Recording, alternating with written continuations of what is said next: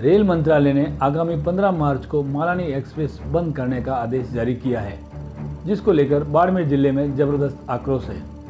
युवा नेता आज़ाद सिंह राठौड़ ने बताया कि मालानी बचाओ संघर्ष समिति के तत्वाधान में मालानी ट्रेन को बंद करने के निर्णय के विरोध में रेलवे स्टेशन बाड़मेर पर मालानी ट्रेन से यात्रा कर रहे यात्रियों को पर्चा वितरित कर मालानी के बंद होने से होने वाले बाड़मेर ज़िले के नुकसान के बारे में बताया गया। और मंडोर एक्सप्रेस की जो समय सारणी तय की है, वो समय किसी भी प्रकार से जायज़ नहीं है। और जो समय आमजन के लिए नागवार गुजरेगा, राठौर ने बताया कि सभी बाड़मेर वासियों ने रेल विभाग से इस अनुचित निर्णय को लेकर भयंकर रोष व्याप्त किया है। मालानी को रुकने से बचाने के लिए हर स्तर पर संघर्ष करने को तैयार है।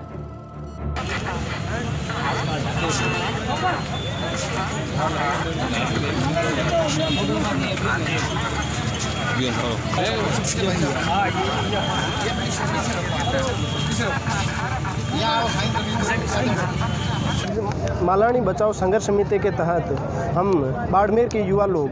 मालानी को जिस तरह से रेल मंत्रालय द्वारा बंद करने का आदेश जारी कर और मंडोर एक्सप्रेस को शुरू करने का जो आदेश दिया है, हम लोग ये बाड़मेर के युवा वर्ग ये चाहता है कि मालानी एक्सप्रेस यथावत हमारी चालू रहे और निरंतर चलती रही, क्योंकि जो मंडोर एक्सप्रेस जो चालू की है, उसमें समय अंतराल, जैसे मध्य रात्रि को जयपुर पहुँचती है तो यहाँ से युवा वर्ग, व्यापारी वर्ग, कई, जैसे राजस्थान की राजधानी जयपुर है तो वहाँ कई कार्यकर्ताओं का, जैसे राजनीतिक कार्यकर्ताओं का भी वहाँ काम रहता है तो मध्य रात्रि एक बजे पहुँचता है तो वो सुबह तक उसका, वो कहाँ रहेगा, ये सबसे बड़ी प्रॉब्लम और फिर सरकारी कर्मचारी, कर्मचारियों का एक बहुत बड़ा तबका है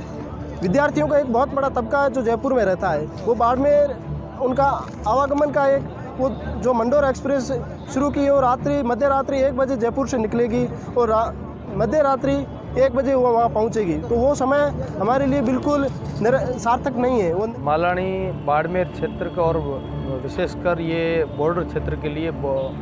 लोगों के लिए एक राहत भरी ट्रेन है, जिससे उनको पूर्ण सुविधा है। इससे आने जाने की जयपुर हो, जोधपुर हो, दिल्ली हो और वो भी एक टाइमिंग के हिसाब से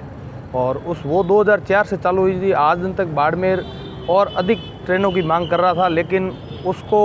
ट्रेनों को हटा के ये इस तरीके से जो कर रहे हैं, ये गलत है। और निवेदन ये रहेगा सरकार से कि भाई ये मालन ट्रेन वापस चालू करें और इसके सिवाय और ट्रेनें भी करें, जिससे बाड़मेर के और ये